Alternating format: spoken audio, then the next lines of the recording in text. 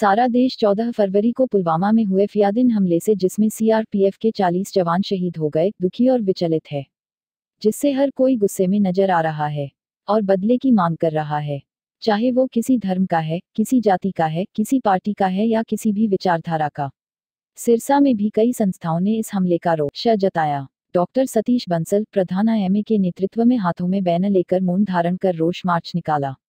यह रोष मार्च PWD rest house से शुरू हुआ और शहीदी स्मारक पहुँचा। शहीदी स्मारक पर शहीद हुए जवानों के प्रति दुख जताया और प्रार्थना की गई। दो मिनट का मौन धारण कर जनगणमन के साथ सबने शहीदों को शीश नवाया। हर एक के मन में असहनीय पीड़ा थी जो उनके चेहरे से झलक रही थी। और सबकी एक ही इच्छा थी कि पाकिस्तान को सबक सिखाया जाए जो ऐसे ज़ाहिर लोगों को पनाह देता है और प्रोत्साहन देता है। पाकिस्तान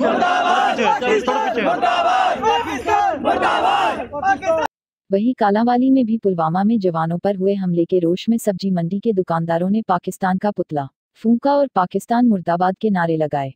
दुकानदारों ने हमले की निंदा करते हुए कहा कि पाकिस्तान ने शर्मनाक घटना को अंजाम दिया है, जो कि निंदनीय है। इस घटना की जितनी निंदा की जाए, उतनी कम है। भारत को इस हमले का कड़ा जवाब देना चाहिए ताकि भविष्य में पाकिस्तान ऐसी घिनौनी हरकत करने की हिम्मत न कर सके। न्यू न्यूज़ फॉर यू के लिए सिरसा से डॉक्टर गुलाब सिंह के साथ कालावाली से चानन सिंह गुर्जर की रिपोर्ट।